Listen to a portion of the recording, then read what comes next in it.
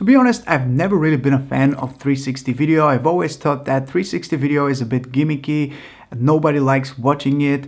Uh, but I completely changed my mind after I got my Insta360 One X because this has become my absolute favorite tool for capturing hyperlapses, for creating some b-roll shots with different types of angles for my videos, and generally I really started appreciating the fact that you can always frame your shots after taking them. This is completely new to me, so ever since I started using the Insta360 One X, I've been really enjoying 360 video. So recently, Insta360 released their biggest update for the One X, bringing some new features and improvements for this camera. So in today's video, I'll show you how everything works and what are these new features and improvements.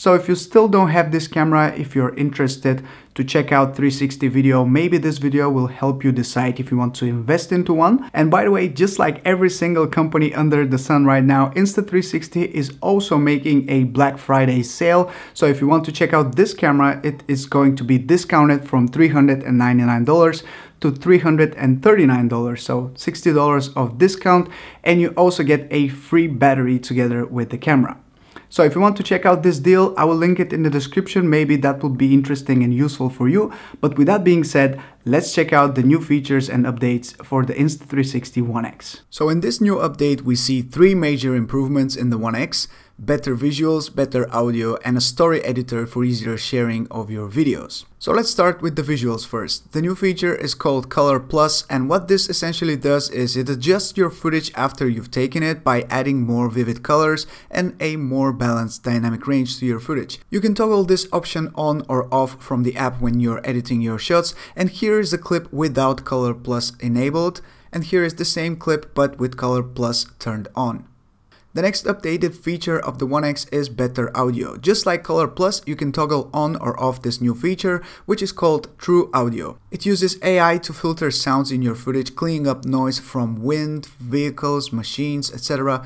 And it simply boosts your voice so it's more clear. Again, here is a comparison of a clip with and without True Audio. This is the Insta360 One X, and I'm making this test just so I can show you the difference between this uh, new feature being turned on or off. This is the Insta360 One X and I'm making this test just so I can show you the difference between this uh, new feature being turned on or off. Lastly, I want to talk about Story Editor because that's one of the biggest improvements in my opinion and something that was stopping me from using the camera a bit more. The fact that you can now easily edit and combine your clips in the Story Editor by also adding footage shot with other cameras, such as your phone for example. That in my opinion is a huge deal. And just like any other editing app, here you also have a big choice of filters, effects and other small tweaks to edit your clips. That way you don't have to necessarily transfer your clips to your computer for example, you can really edit on the go and quickly share your footage.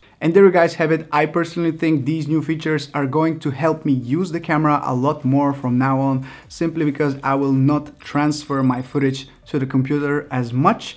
I will just use the phone and that's something that I don't do enough. I always transfer the footage to my computer and then I edit and upload to YouTube or to my stories on Instagram.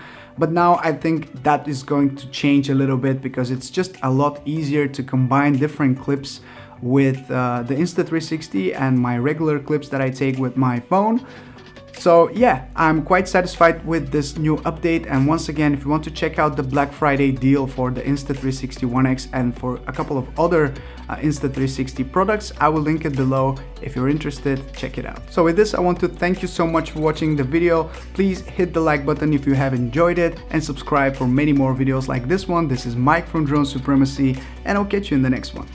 Ciao!